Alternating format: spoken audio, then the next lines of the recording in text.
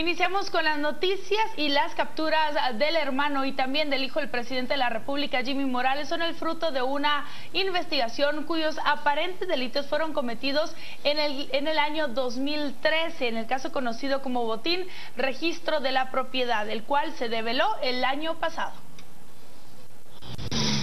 El caso botín registro de la propiedad se develó el 1 de septiembre del año pasado con allanamientos que permitieron la captura de 18 personas, entre ellas la de Anabela de León, registradora de la propiedad durante el gobierno de Otto Pérez Molina, señalada de contrataciones irregulares de por lo menos 16 personas durante su administración y quien actualmente guarda prisión preventiva en la cárcel para mujeres Santa Teresa.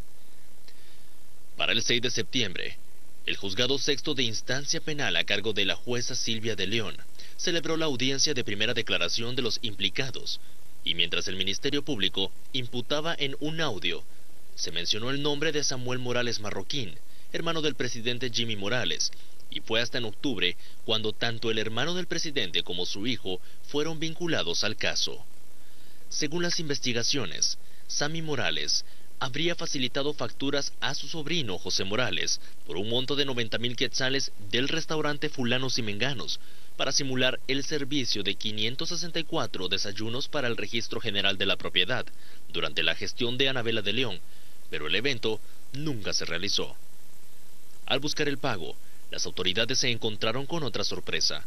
En el 2013 se había hecho una compra de canastas navideñas, en las que también se desembolsaron 89.958 quetzales.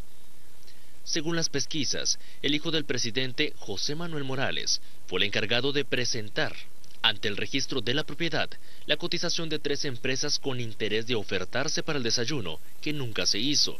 de las que solo se tenía conocimiento que existía fulanos y menganos. La fiscalía indicó que las otras dos no existían. Por tal motivo, este miércoles 18 de enero se capturó al hermano del mandatario Jimmy Morales por los delitos de fraude y lavado de dinero, mientras que el hijo José Morales enfrentará el proceso judicial por el delito de fraude.